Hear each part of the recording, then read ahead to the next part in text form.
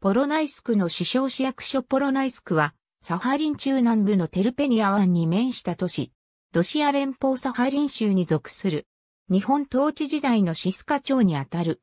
日本統治時代の詳細についてはそちらを参照のこと。ポロナイスクは、サハリン中南部の東岸に位置し、テルペニア湾に注ぐポロナイ川の川口付近に開けた都市である。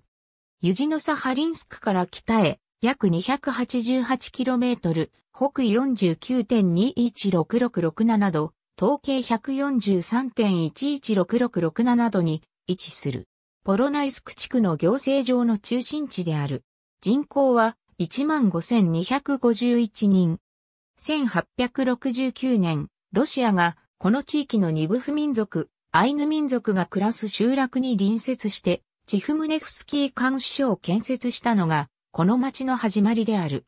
1905年、ポーツマス条約により南からフトが日本に割譲されるとシスカという名前に改称された。1945年、ソ連に占領された後、ポロナイ川にちなんでポロナイスクに改名された。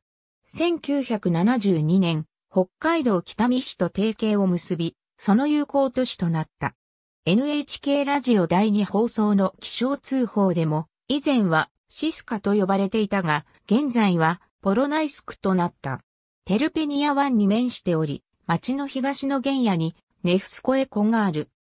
日本領有下においては国境に位置したことから、軍事上重要な地域とみなされており、現在も旧国境付近に築かれた統治下等をはじめとする戦争遺跡が各地に見られる。野栗木駅、ユジノサハリンスク駅からは2往復の特急列車が運転されており、どちらも停車する。